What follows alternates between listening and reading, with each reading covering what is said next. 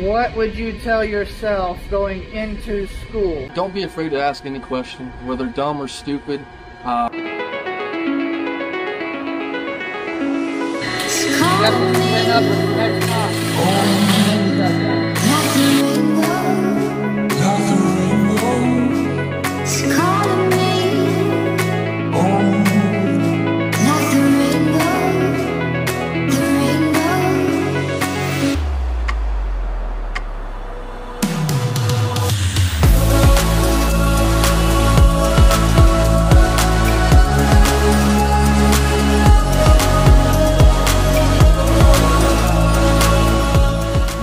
Leaking flange here.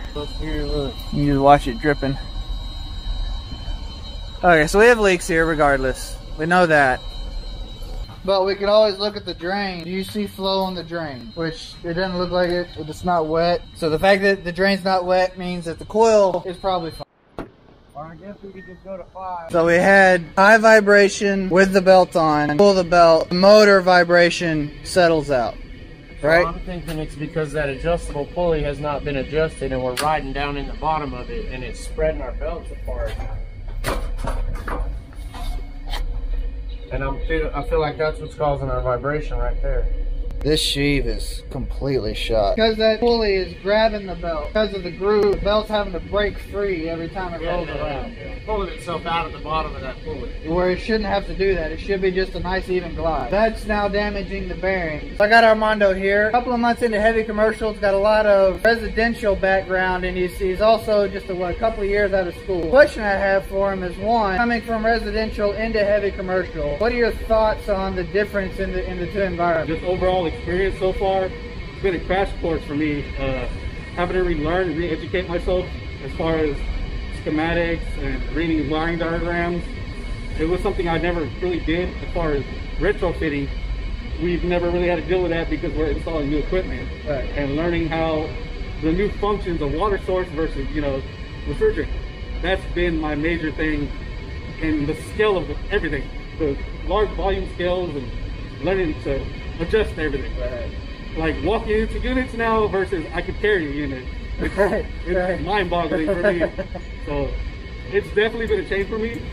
Adjusting to this and I'm liking it. It's, I'm not in a hot attic, but I'm on a rooftop still. But I enjoy it. It's something new. Learning new stuff is something I like. So I'm not stuck in one area. I'm out and about doing stuff I really like Yeah. and enjoy learning. So my second question is, still being fresh enough out of school, if you knew then what you know now, what would you tell yourself going into school? Um, just overall focus on everything as far as like the functionalities of everything, of the parts and mechanisms and everything, what controls what. And just go back, I would jump into commercial rather than residential just because I, I'll stay more sharper basically out of school versus not going to residential. right. Like, I definitely understand this a lot more after a month versus coming into this and forgetting everything and re- retraining myself. Right. So I definitely learned a big thing. You get what you pay for, I guess, education-wise, and focus on that. That's been my learning overall so far.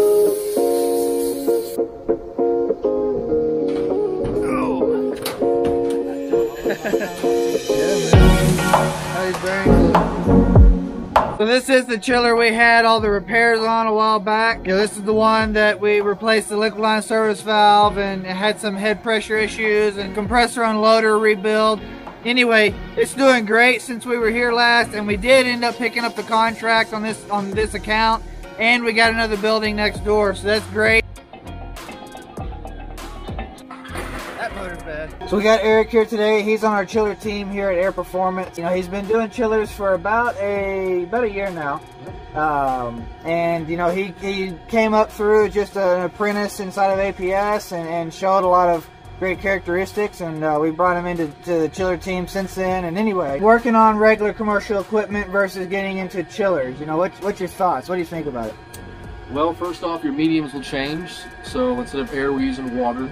Um, you've got to understand that your simple AC will have minimum safeties. This chiller is going to have X, Y, Z, A, B, C, and D. Um, so the, the intricacy to the equipment is a lot to learn, a lot to grasp, a lot to understand. You take it slow, you get your basic fundamentals down. Uh, you got a guy like yourself Holden to mentor you, teach you, open your mind. First thing I got before I got this opportunity was a notepad and pen. You're gonna need that, take notes, take side notes. Every interface is different.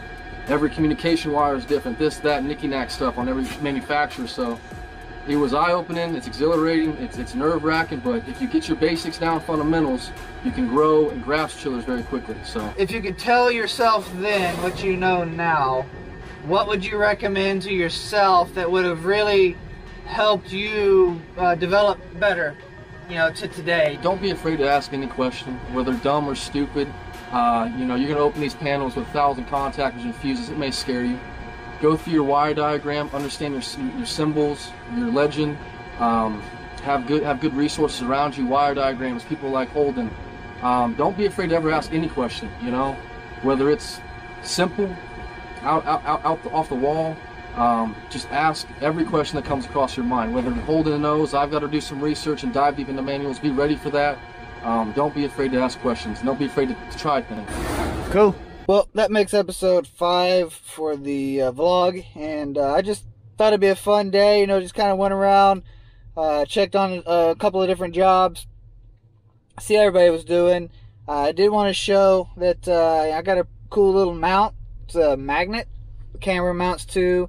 I can stick inside of units. Thinking I can get some pretty cool shots and some really unique angles that I haven't really got so far. So we'll see. We'll see how it goes. I'll, I'll, I'll play with it. I didn't actually get to use it today, but uh, I really see this coming in handy in the future.